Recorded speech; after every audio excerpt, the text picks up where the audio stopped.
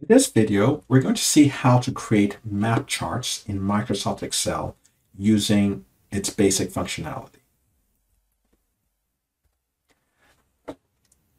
Basic map charts in Excel can represent two variables. Now, there's various kinds of charts that are suitable when you have two variables, but map charts are specialized where one variable is a geographic indication. Here I'm calling it an x-axis variable, but, but that's not actually true. A geographic indication is both x and y-axis.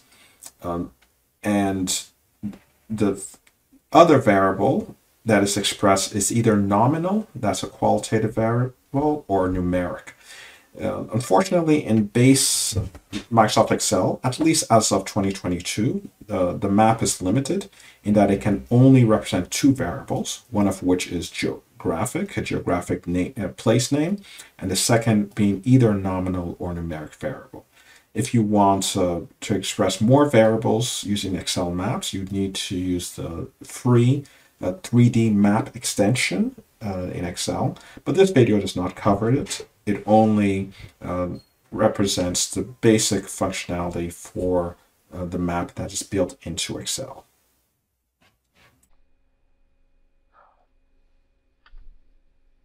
Now, we've been doing a lot of visualization on customer country, but a country is a geographic location.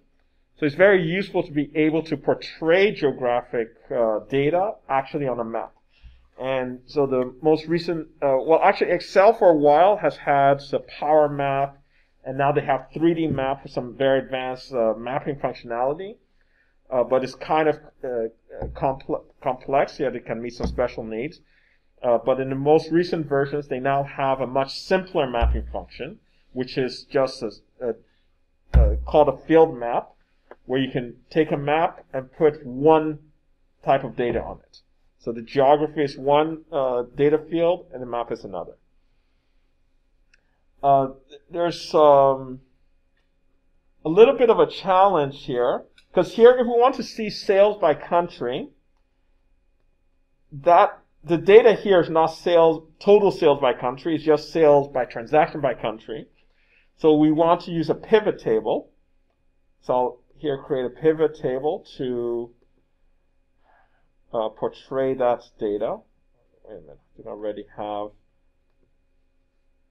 uh, sales by country. Okay, so like here I already have uh, sales uh, by country. So I go ahead and copy that.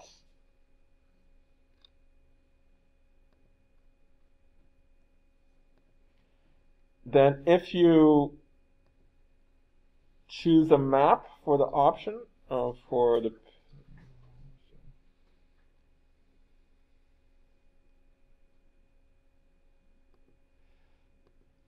you see this error message that unfortunately maps do not work on pivot uh, table data in Excel. It does not work that way. And yet the pivot table data has exactly the data that we want for the map. It has the summaries of, uh, well, actually this is not the summaries. I mean, edit it. Okay, I want here, yes, here I want the profits. I want sum of profits, not sum of sales. That's what I want. This is the data I want. So whenever, and you will have some charts that the pivot table got exactly the data you want, but the chart doesn't work. So when you have that situation, all you have to do is copy the data. Okay, but actually not all the data. Do not copy the grand totals, just the data itself. Just copy and can paste it right next to it. So here, I didn't paste, I didn't copy the entire pivot table. I just copied the data from it. And this is the data we want to plot. And now I can rename it country and profits. And now with that data, that is in the format that should work with a map.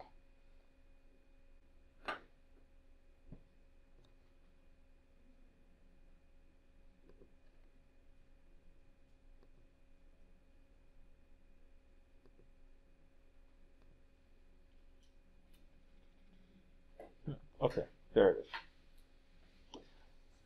Um, okay.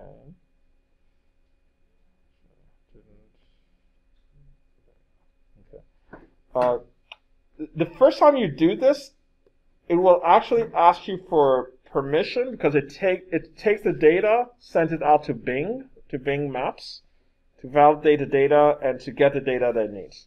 So I think uh, it just needed a moment to connect. So it, it has to connect to the internet to create this kind of map, and it has to get your uh, permission to send your data to the internet, verify the data, and, and send the map data.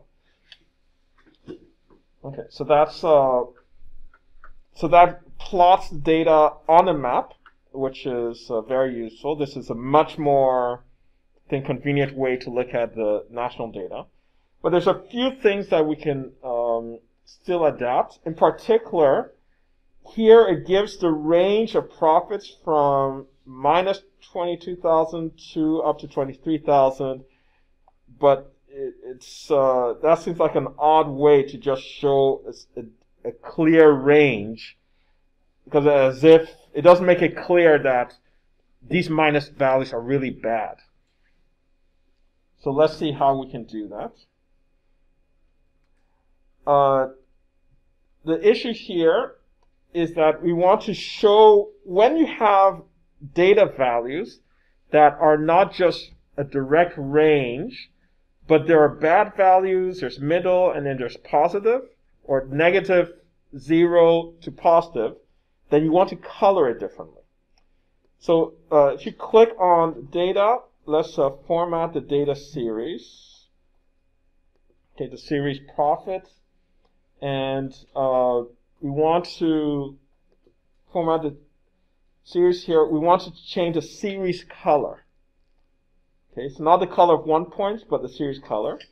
And here, by default, it's a sequential uh, color sequence. But what we want is a diverging sequence with three colors.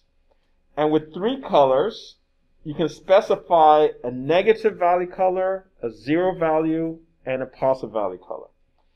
So um, the minimum lowest value, we can make that red.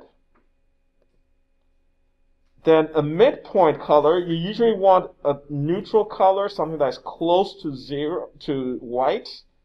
But here, let's make it this really light uh,